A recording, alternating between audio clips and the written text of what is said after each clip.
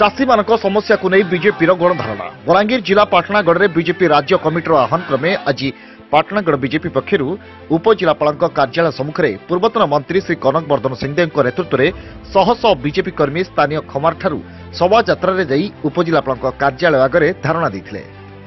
ମଣ୍ଡିରେ ପଡ଼ି ରହିଥିବା ଧାନ ଉଠାଇବା ସହ ବାଦ୍ ପଡ଼ିଥିବା ଟୋକନକୁ ନୂତନ ଟୋକନ ଦେବାର ଦାବି କରିଥିଲେ ଏସବୁ ସମସ୍ୟାକୁ ସାତ ଦିନ ମଧ୍ୟରେ ସମାଧାନ କରିବା ପ୍ରତିଶ୍ରୁତିର ଆଲୋଚନା ହୋଇଥିଲା ଯଦି ସାତ ଦିନ ମଧ୍ୟରେ ସମାଧାନ ନ ହୁଏ ଜେଲ୍ ଭରୋ ଆନ୍ଦୋଳନ କରିବା ପାଇଁ ପୂର୍ବତନ ମନ୍ତ୍ରୀ କନକବର୍ଦ୍ଧନ ସିଂହଦେଓ ପ୍ରକାଶ କରିଛନ୍ତି ବଲାଙ୍ଗୀରରୁ ଜଗଦୀଶ ଭୋଇଙ୍କ ରିପୋର୍ଟ ଏସ୍ ନ୍ୟୁଜ୍ ଓଡ଼ିଆ ସେ ଟୋକନ ଲ୍ୟାପ୍ସ କରିଯାଇଛି ତାଙ୍କ ଧାନ ନ ଉଠାଇ ରାଜ୍ୟ ସରକାର କହୁଛି ଆମର କୋଟା ଫିଲ୍ଅପ୍ ହୋଇଗଲା ଏବଂ ପ୍ରମାଣ ଯେବେ ଆମେ ସମ୍ବଲପୁରଠି ଯାଇକରି ଆର୍ ଡି ସି ଅଫିସରେ ଦେଇଥିଲୁ ସେମାନେ ମାନିଲେ ଜିଲ୍ଲାପାଳ ବି ଡିଆର୍ଡିଏ ଜିଲ୍ଲା ପରିଷଦ ମିଟିଂରେ ମାନିଲେ କି ଚାଷୀଙ୍କ ଧାନ ମଣ୍ଡିମାନଙ୍କୁ ପଡ଼ି ରହିଛି ଆମେ ଆଜି ଯେଉଁ ଧାରଣା ଦେଇଛୁ ଅନୁରୋଧ କରିବା ପାଇଁ କି ଚାଷୀ ମାରଣ ନୀତି ବନ୍ଦ କରୁ ରାଜ୍ୟ ସରକାର